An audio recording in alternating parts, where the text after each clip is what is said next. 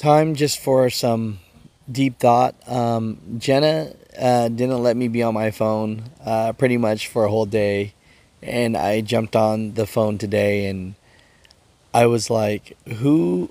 What?" Someone made a video, and I just want to say thank you so much for all the birthday wishes. I just thought that was extremely incredible, and thank you for that because, um, you know, I always like to reveal the truth of how I feel as well. And, you know, for the ones that don't know, I've been trekking over 10 years, working like eight to nine months straight and three to four months off on the wintertime, moving furniture for North American Van Lines. And just made videos, you know, a little bit out of boredom.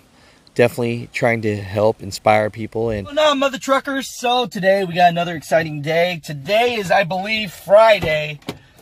We got another shipment. Of course, my semi truck the booty's too big, can't get in. It's an apartment complex. Three stories, no elevator. They didn't change that law. We're getting there. Ramon in the house. So we're cleaning up. Actually, I'm the messiest driver. Don't break your ankle, Rudy. It's actually Rudy's birthday coming up. Happy birthday, Rudy. A lot of it was for myself as well. And, uh, you know, I guess I didn't ever think that the channel would be what it is today, but you know, every day I probably get at least a thousand comments that ask me to jump off a bridge and, you know, that I'm worthless and, you know, that I'm not a truck driver and I never was. And, you know, people say what they can say about, you know, you ain't doing nothing if you don't have haters. And, you know, they say that, you know, I don't care. It doesn't get to me. But sometimes it does a little bit, right? And I'm just human. And, you know, just reading all these comments uh, that you guys uh, gave to me today, it's just uh, one of those things where I would say, um, uh, just thank you for that. I, I appreciate you guys. You know, um, uh, it comes down to uh, sometimes you don't know if you're doing the right thing for people.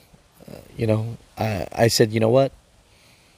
I decided to dedicate my life to uh, helping uh, truck drivers with information as much as I can, interview, do whatever I can for the rest of my life. And, you know, uh, social media is a, a, great way for me to do that. And I just want to say thank you.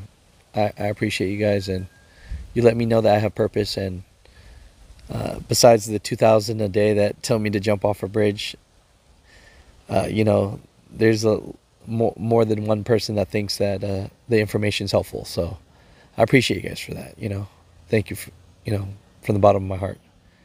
Appreciate you, my truckers.